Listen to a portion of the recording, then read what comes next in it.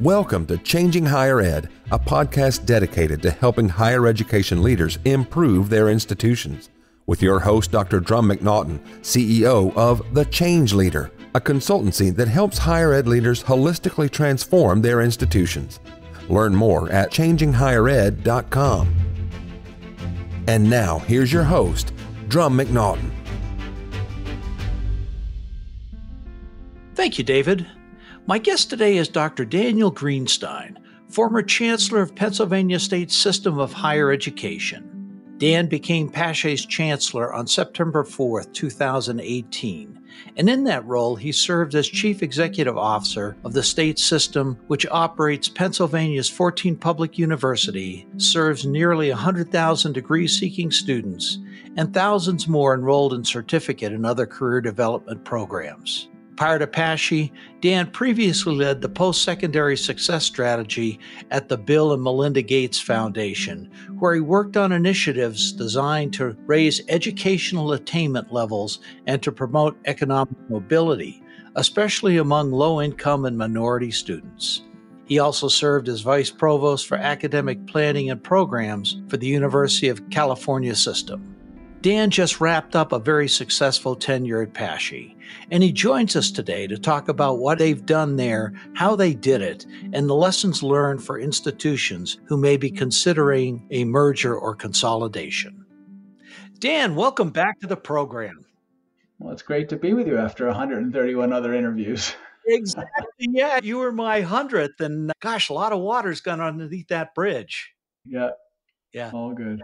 And just a little background I'm excited to have you on the show. You're stepping down from the chancellor position at PASSHE. You have done incredible, incredible work there. In fact, what you've done at PASSHE, I would venture to say, is you have done a case study on higher ed consolidations and you've basically saved higher ed in rural Pennsylvania. I mean, the first one's great, but the second one is so much more important. Yeah, no, I don't know if it's saved yet, but we've certainly made a big step forward. So I appreciate the kind thoughts, and I think there's some more work to do. But folks are on it, and I'm excited to. I'll watch from afar and be very interested to see how it goes. I'm sure it'll go well. I'm sure it will. Yeah, give give our listeners a little bit of your background, if you would, please. Yeah, so I mean, I've uh, been in around higher education for my entire career. I started life professionally as a, a trained historian. I was a historian at Glasgow University Scotland. And, you know, I was one of those guys who got a tenured role and kind of freaked out and said, what, that's it? and so, of course, gave up a lifetime security of employment to go into a series of one year contracts. Who wouldn't? And really became fascinated by internet services. This was in the 90s. And through internet services, digital libraries, and then through digital libraries, then into really intensively shared services at the national and then ultimately the statewide level. And there was always an undercurrent of real concern for advancing the workforce development and social equity kind of mission that public higher education in particular has in this country. And of course, those two things collided in the 2008 9 when the bottom dropped out of the market during the Great Recession. And there was such an extensive uh, cut in public funding for higher education, and, and so many people many of them not looking like me, most of them black and brown, people who were found themselves without a place in higher education. And so those two kind of agenda, that kind of change agency, change management and higher ed innovation thrust and that equity thrust just came crashing together. So I was given an opportunity to pursue that at Gates, at the Gates Foundation, where I led their post secondary strategy, which was all about improving performance of universities and colleges for low income students of color and then left Gates to try my hand at university leadership, having convinced myself that it's one thing to know what to do, it's another thing to actually do it. And that, that whole change leadership, change management journey was uh, uh, underdeveloped and I think to a certain extent understudied. And, and so, you know, PASSHE came up as an opportunity and I jumped at the chance. Wow. Well, I didn't realize you'd spent so much time at Gates. They have done some incredible work. In fact, my first accreditation gig was with a school in San Diego that had gotten a grant from Gates to divide a 3,000 student comprehensive high school into six small schools. Now, you've done just the opposite at PASSHE. You've taken six smaller schools and made it into two larger schools. Well, let me, let me contextualize. I mean, so uh, I, I came to PASSHE because the system was in trouble. You know, the usual array of challenges facing higher education, decline in public funding, demographic challenges, real drop off in the size of the high school leaving population, the usual kind of technology disruption that you see. And so, for a long period of time, you know, a decade anyway, the universities had been, in response to cuts in public funding, they've been raising tuition. And of course, that was driving students away or hard to get anyway because there's fewer of them. And they'd gotten to the point where the, I would say five or six of our schools were at or near insolvency financially, which I will define as meaning that they had exhausted their reserves, but they were continuing to operate with uh, negative annual margins. And of course, in, in the Pennsylvania state system, it's a single corporate entity. It's structured that way, which means that as a university is unable to pay its bills, all the others have to pay them for it. And so the weaker schools, the five or six that were at or near insolvency, were dragging very heavily on the others. And of course, no one at that stage is desperately strong. And Pennsylvania state system has 14 universities, most of them in rural Pennsylvania. It is an engine of social mobility and workforce development in the state of Pennsylvania. It serves low and middle income students predominantly has a high proportion of underrepresented students. So it's, you know, the student body that I care about. They're regional universities. They're not selective. They're less selective. So I think our most selective is 83%. You know, most are in the 90s. So, you know, really important schools. It's these kinds of schools that sort of are responsible for educating most of uh, people in this country who go into some form of four-year education. Mm-hmm and they were in a, obviously we were in a very difficult circumstance. So the board envisaged what they called the system redesign a fundamental redesign of the system. And the objective in the redesign was really to produce more not fewer graduates right? Because you know in, in this state the numbers currently i think 61% of all jobs need somebody in them with some higher education of which only 51% of adults have. So there's this massive talent gap and we're shrinking. So that's crazy. You got to grow so the objective is to grow our credentialing productivity, but in order to do that, you got to stabilize yourself financially because you're in pretty bad shape. So there was this broader agenda. Integration was a very small fragment of that overall work. I mean, we can talk as much as you like about it, but it was set within that context, right? And just before we get into integration, just to be clear about what's happened, I think some of the highlights that, you know, we've stopped the slide in our enrollments, taken a long time. We've stopped the slide in our finances. We've seen improvement in our student outcomes, retention rates, graduation rates, et cetera. We've frozen tuition for seven years in a row.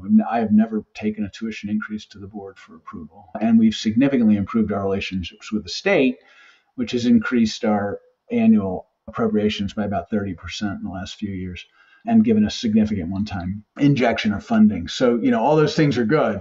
And all those things were the deliberate sort of goal of this redesign. Integration was one small step along the way. So I just want to contextualize it because uh, I know it attracts a lot of attention. I get why, but it, it was part of a much, much broader transformational agenda. Well, it sounds to me like yes, there was the merger piece, the integration, or as some folks would call it, consolidation. But it seems like a lot of what you were doing is highly advanced change management. Is that a fair statement? Mm. Yeah, I mean that was basically that's what the job required, but it was also what personally fascinated me about it was what I wanted to do in my next gig when I left Gates because you know there's this theory that there are many trajectories that universities and colleges can take probably not an infinite number but a def, you know an identifiable number of trajectories universities and colleges can take to sustain themselves to become resilient and continue to do good work with their students any number of them can be documented on paper. and you know, you and I will both be able to identify high impact practices that help improve blah blah. Yeah. It doesn't matter unless you can actually get it done, right? And that was really the question that I left Gates with was what what is its change capability? Is it really realistic to assume that and where are the gaps? And then how do you strengthen or shore up the weaknesses that you find in that change capability? And so that intellectual curiosity was driving me almost as much as my mission orientation which is oh my god this is a really important school. You can't imagine a viable pennsylvania economy that doesn't have affordable pathways into it for everybody. So all these things were kind of motivating me as i came sort of landed here. Well you made the decision to integrate the, the campuses.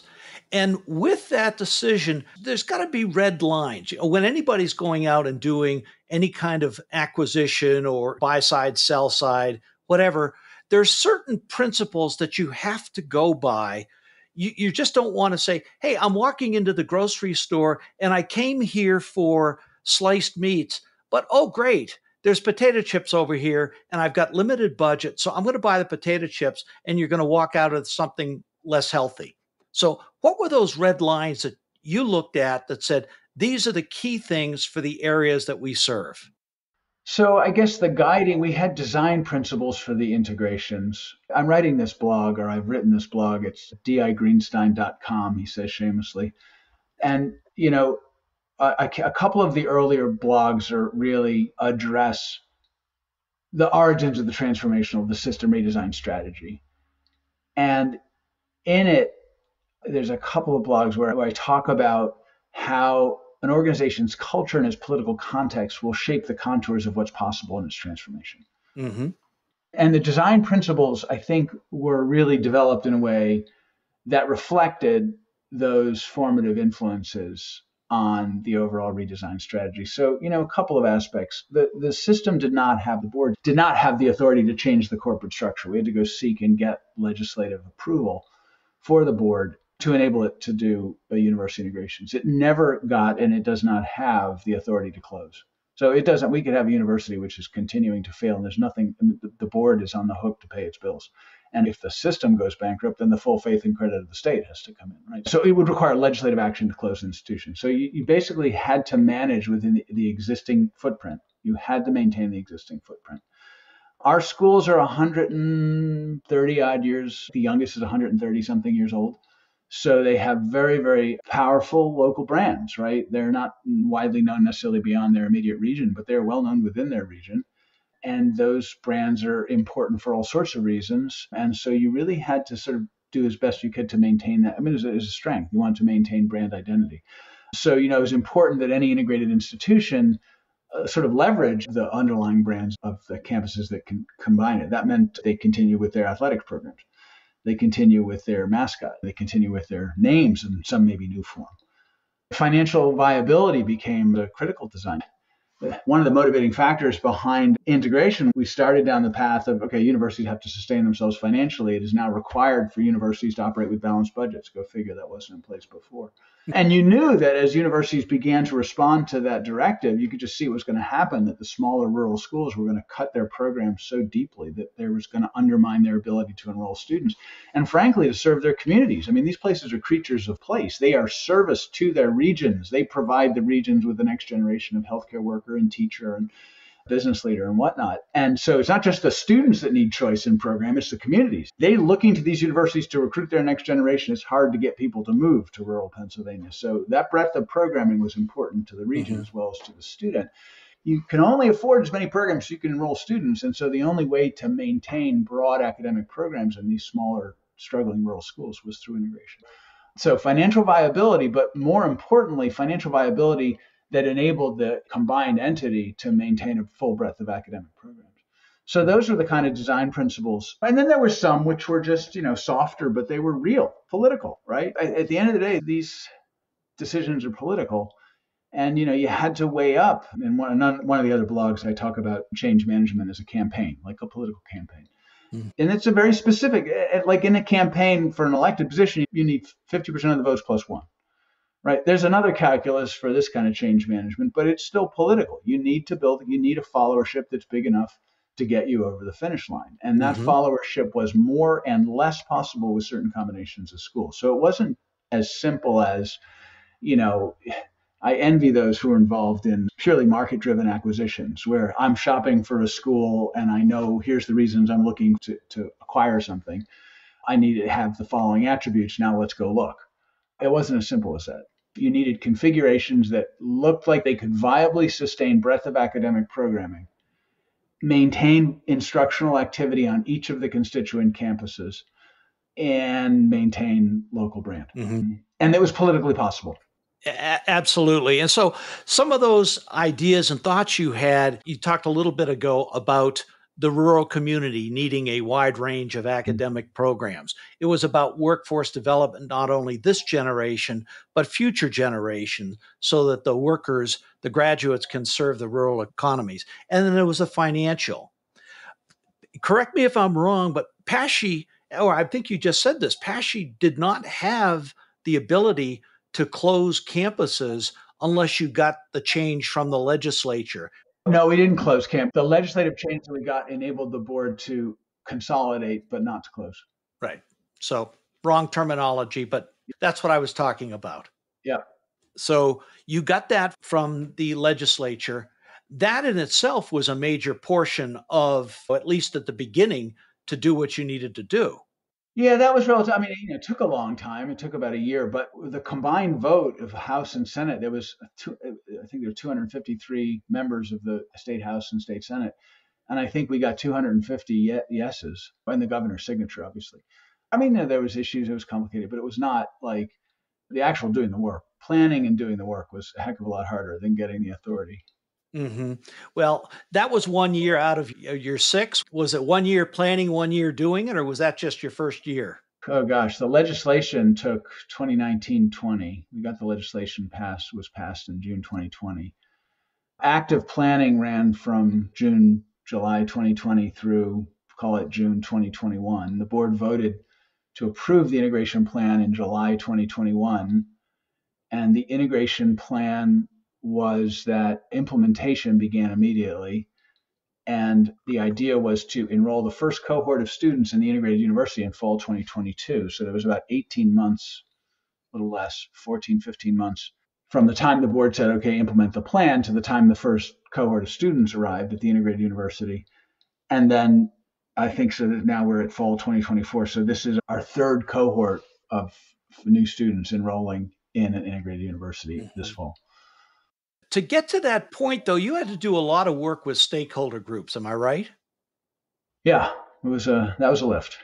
Mm-hmm. What were the kind of groups that you worked with, and was the message the same? Was the message varied? How did that work? So I think of the process as having three phases. Actually, the integration process was defined in legislation. So there was a, a the first phase was sort of financial review, and it was basically a paper exercise. And that was almost entirely done out of my office. And it was just an analytical exercise. If you put A, B, and C together, is it better off or worse off than if you don't? That took a few months. And we interacted closely with the leadership at the universities that were being looked at as potential integration points and obviously a wider range of stakeholders. But that was a fairly closely held, and not because we were bad or not being transparent. It was kind of like, what's it look like on paper? And then, you know, there were board meetings and constituency meetings and whatnot, but it was not as involved. The next process, which ran from October 2020 to July 2021, was the uh, implementation planning that was incredibly involved. So we had the six universities had been identified, their leadership teams were engaged in the process. The system office kind of managed or coordinated the planning process.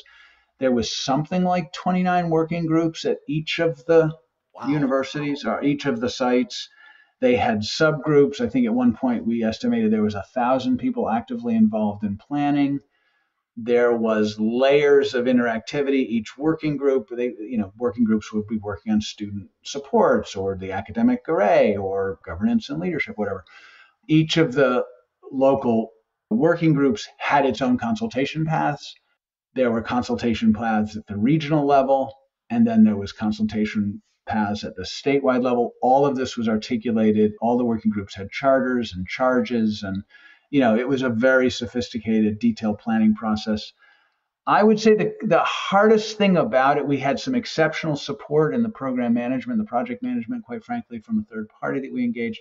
And I would say the one of the most challenging parts about it was that it was a hydra-headed monster, and communication, discipline, and consistency was very important. And it took us a few months to get that right. Once we got it right, we were pretty good at it. But it took probably our first two or three months. We were learning how to work in that expansive but coordinated way and communicate. It was important. You, you had to be very disciplined in the communication because what's the order in which groups get communicated with? You know, what's the nature of communication? You needed consistency. But we optimized around consistency. It was absolutely critical that any one group, that all groups who were in, whether they're local, regional, or statewide, are hearing the same thing. Yeah. The same set of talking points, and that the timing and the delivery and when information was distributed, et cetera, was all very highly coordinated. Mm-hmm. That is so critical with a project this massive. And frankly, I can't think of another project consolidation like this that has happened on this scale before. Has there been one? Well, I mean, I think they happen on this scale. I think the unique attributes of this, when you talk to people who've done this before, it is very, very rare that it is done in public. This was a very public process. I mean, we're a public university and system and there was a lot of engagement by the legislature. The, the, the, legislation which enabled integration to happen required the chancellor to testify quarterly in front of joint meetings of the education and appropriation committees in both the House and the Senate. So I was testifying, you know, every few months, several times every few months. And there was a lot of visibility. You know, higher education being what it is, people are for or against something, you know, have ways of making their presence and ideas known to the public through the legislators through the legislative process. Really, really, I, I never would have guessed. Yeah. So there was a lot of activity on on that front, but it was done in public. So when you talk to people who've done this kind of thing before, it's more often the case that the plan is done, and then people are told this is what we're doing, and that's when it becomes public. Mm-hmm. So I, I, don't know anyone who's tried this publicly. Maybe Vermont was there because it was also public and it got caught up in the political to and fro. But yeah, it's pretty rare you see something this open. Yeah. And then, you know, on top of working with the stakeholders and, and coming up with your plan, there's huge regulatory interest in this between your main accreditor, you've got the department who's going to be weighing in on this, and you've got programmatic accreditors. And yeah. then the one that that I understand was one of the most challenging was working with the NCAA. Yeah. yeah. Tips and tricks. First of all, I thought Middle States was an incredible partner. They're a regional accreditor, obviously, and it's the universities that are accredited, not the system. But you know, Heather Perfetti, to her great credit, we, we were in touch very early on in the process. I remember, I, I distinctly remember a phone call. This was when there's only a few voices in the mix, and at PASSHE's side, anyway, just early, early stage. And we get on the phone with uh, Heather and her team, and we're all frankly like, oh crap, what are we doing? what are we about to do?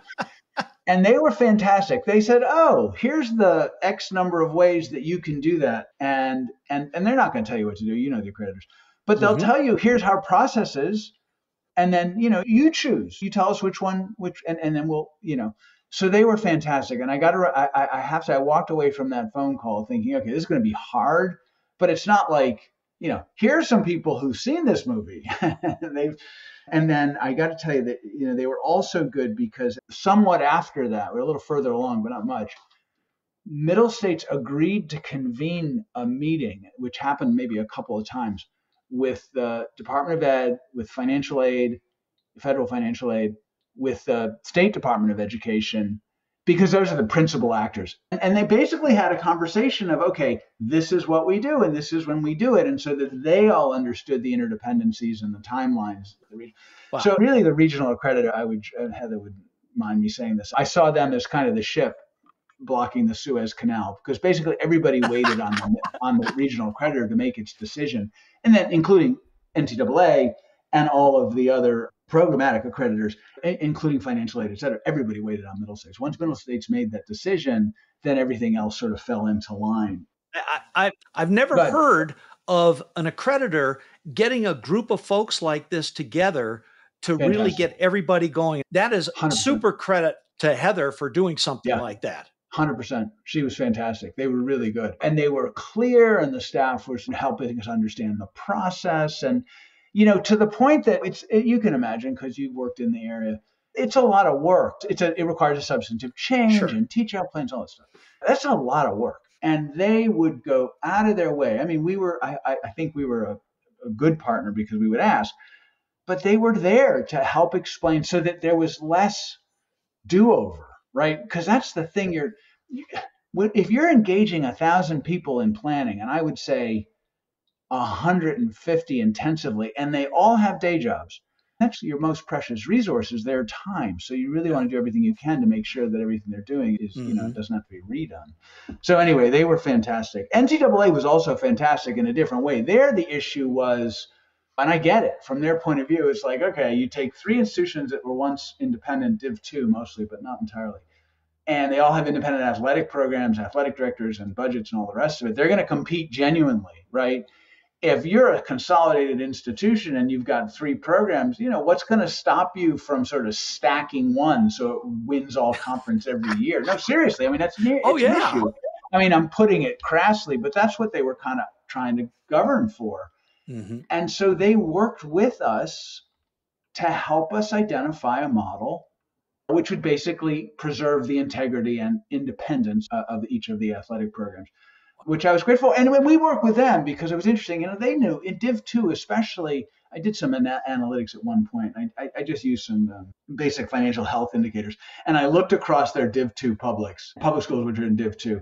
And they were like 60% of them are on their way to having really big financial difficulties. So solving this problem for us, and I knew they knew this, was in their interest because they're going to have to solve it again.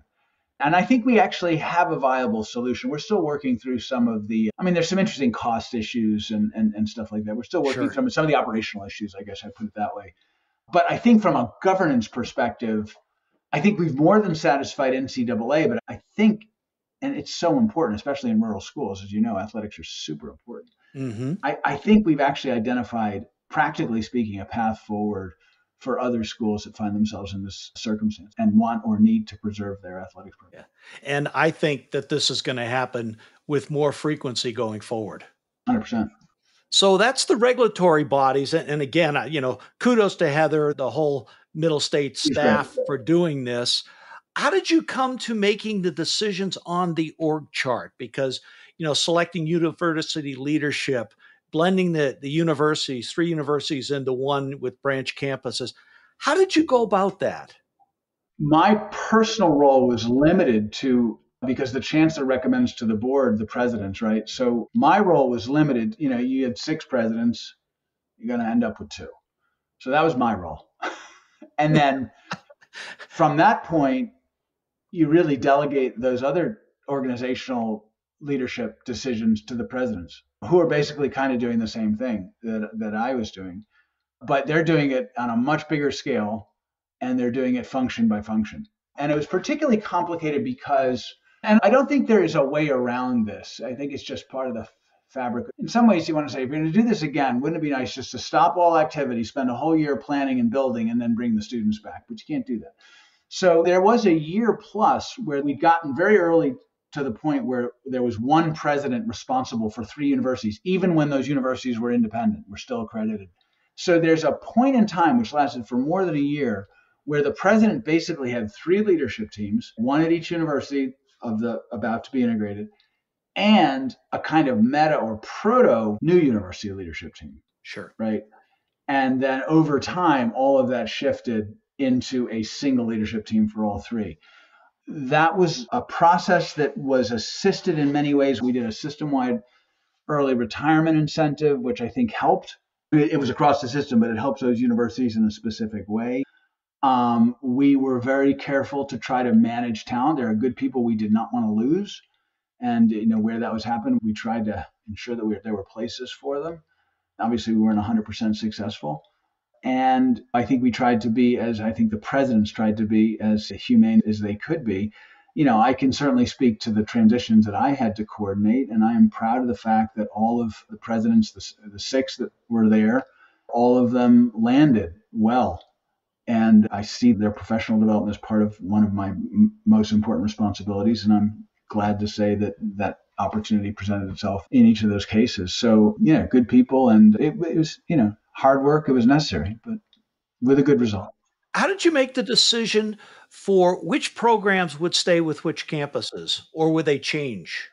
So I did not. So the planning process. So when we moved into implementation, so if financial planning was very closely held, implement integration planning was that rambling, lots of committees, whatever that structure when the board voted to implement, pretty much everything got delegated down to the president. Now, the route map was available in the implementation plans, which are available on the web. And so the program arrays had been already identified.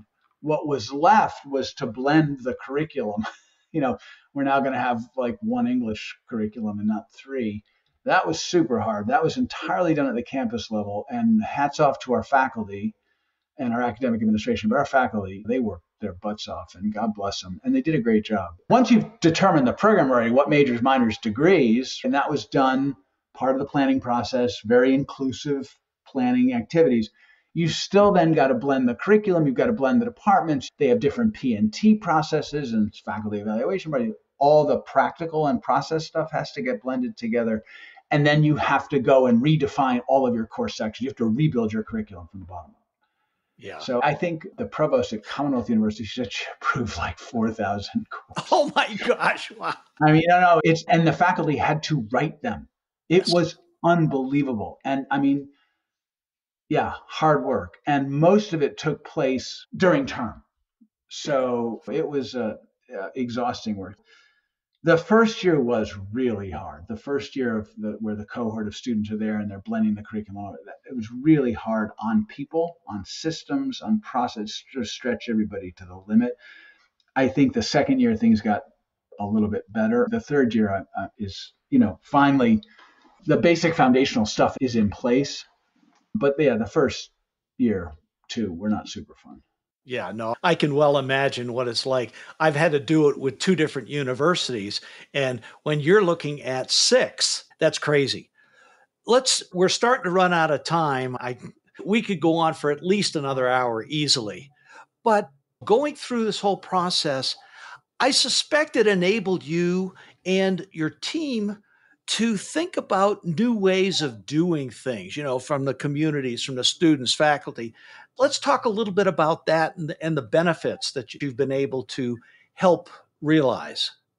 So, you know, I guess some of the lessons learned at the integrated universities, we could try things that had benefit across the system. So, for example, when you're blending three curriculum across several campuses, you want students on any campus to have access to the same majors, minors, and degree programs. And we had to build the technology environment to enable that to happen. We actually scaled that environment now across all of our schools. So we're now in a position where we can do that program sharing at massive scale, at statewide scale. Nice. That's super important when you think about there's probably only enough demand, if you think about it in terms of demand, in our system to sustain three or four, I don't know, name your favorite chemistry departments or physics or Celtic poetry or philosophy or whatever. Now we actually have the opportunity to enable students anywhere to have access to that major if they want it. Mm-hmm. That's huge. It's important for the smaller schools, obviously, because they get program breadth, right, without having to worry about how many students they enroll. It's important for the bigger schools. Our West Chester University, 17,000 students. Why shouldn't students have access to the kind of nationally renowned weather degree at Millersville? So I think I think we learned a lot about student success initiatives. So mm-hmm. one of the things you find when you're operating within a university and you're trying to improve student outcomes and you invest in, I don't know, name your favorite thing, holistic advising or a new approach to health and wellness counseling, et cetera. And you go deeply into the departments that's responsible for those activities and you change the way they do business and everyone gets excited and you can do really good work and you can definitely move the needle.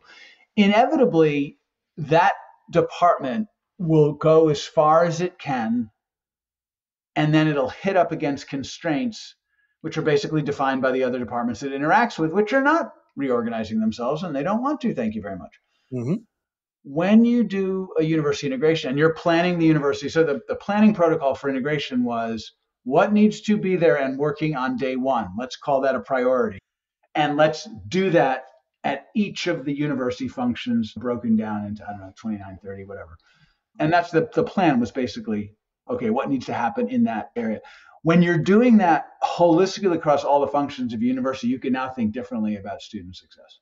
Yeah. You can now think differently about diversity, equity, and inclusion. You can now think differently about high impact practices in the classroom because now you can look across all of your functions and say, okay, because we're throwing all the cards up in the air And we saw some really powerful benefits in student success in particular with the more holistic approaches, quite frankly. We saw very powerful impacts in our abilities with uh, in institutional research because, you know, institutional research is now in every conversation because everybody's in every conversation. And so how do we support our units more effectively?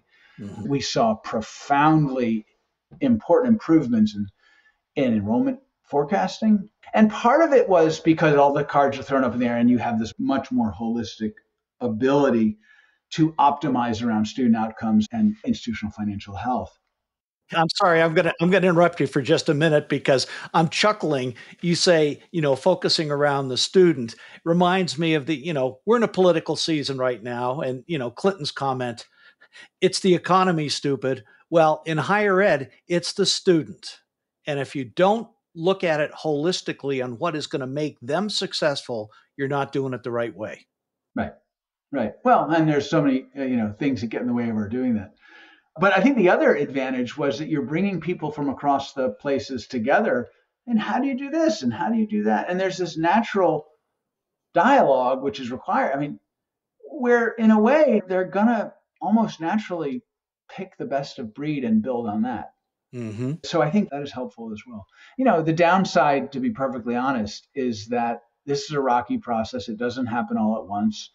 It's slow and it's painful, and it results in some negative outcomes early on, particularly with respective enrollments. But our student outcomes have actually only gotten better since the beginning, which is kind of interesting. That is neat.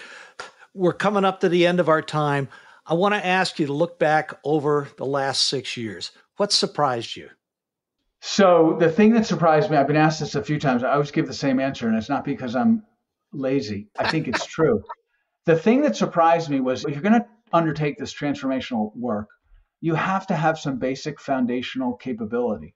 Your governance has to be in order. You have to have clear and well functioning accountability, both individual and institutional. You have to have data resources and people who know how to mine it for insights. All of that stuff took, and we, our starting point, I thought, in all those areas was pretty high. All that stuff took forever to build.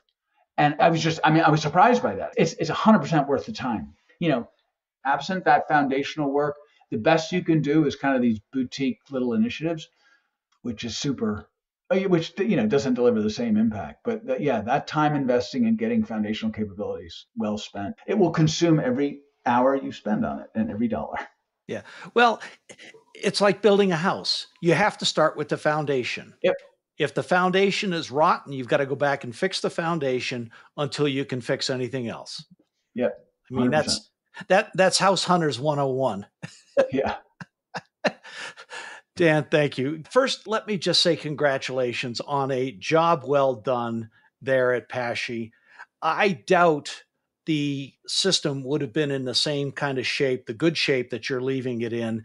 And you should be very proud of the work that you've done. And I know you're a humble person as it is, but you know, you've done a fabulous job. Thank you. Yeah, I appreciate that. I, I, I, will say one of my other lessons is that saving the world, that saving universities, or even running universities, a team sport, and I had a phenomenal team and uh, a big one, and not in terms of direct reports, but people all over the system, and the level of dedication and commitment and the passion that they have shown continue to show to the work. I mean, it made a lot of things possible, and frankly, I had a great legislature, super yeah. supportive, even where they disagreed. Mm-hmm. And, you know, it's so important to have that team there, but the team is only as good as its leader. So thank you for all that you've done. Thank you. Appreciate it. So, as we always do, you had the same last two questions the last time we talked. Three takeaways for presidents, boards who are thinking about doing the craziness that you had to go through. I say that very lovingly. Well, I, I, mean, I think there's some tools out there now that are available. There's some guidance that's available now. You're, you're not alone. I guess I'll put it that way. You don't need to feel like you're alone. There, uh, enough folks have been through this that you can at least get some pointers. So I, I think that would be one. And then the other one is more at the sort of personal. I was actually having a conversation with the president the other day. You can do this. If you need to, you can. A lot of it is just having the the confidence and the chutzpah, but the confidence that, you know, it's a doable task and with the right support, you will get it over the finish line. I would not do this to save money. It's the wrong reason. do the right thing for your students and for the communities that they serve and for the state if you're a public, then the money will follow, in my view. But if you do this to save money, you'll probably end up saving money, but you might break a bunch of things along the way. Yeah, and breaking them usually doesn't do anybody good. So, what's next for you, Dan? I was invited by uh, Baker Tilly to come and uh, help them build their higher ed practice, which I'm super excited about. And I start there on November 1st and see what I can. Yes, I, I as I say to folks, I, I woke up one day realizing that the runway ahead of me is a lot shorter than the one behind me. And this industry, which I love and am passionate about, is in a whole world of hurt. There's a lot of good work left to be done here at PASSHE, but at the same time, I, I feel like I want to and I need to help, and that's kind of where my passion is. So I think that that platform will provide an opportunity to help at greater scale. Very good. Well, I wish you all the best. I know we'll stay in touch. Our paths will cross again in the future. Fantastic. Thanks so much. Appreciate it. Thank you. Take care. Thanks for listening, and a special thank you to today's guest, Dr. Daniel Greenstein, former Chancellor of Pennsylvania State System on Higher Education. Dan, it's been a pleasure having you on the show, and I wish you all the best going forward. Join us next time when we welcome Jim Johnsen, former president of the University of Alaska System, to the show. Jim will be talking about his most recent book, Public University Systems Leveraging Scale in Higher Education, which offers a fresh new look on how public university systems can address challenges like access, affordability, and workforce development. Thanks again for listening. See you next time. Changing Higher Ed is a production of The Change Leader, a consultancy committed to transforming higher ed institutions. Find more information about this topic along with show notes on this episode at changinghighered.com. If you've enjoyed this podcast, please subscribe to the show, and we would also value your honest rating and review. Email any questions, comments, or recommendations for topics or guests to podcast at changinghighered.com. Changing Higher Ed is produced and hosted by Dr. Drumm McNaughton, post production by David L. White.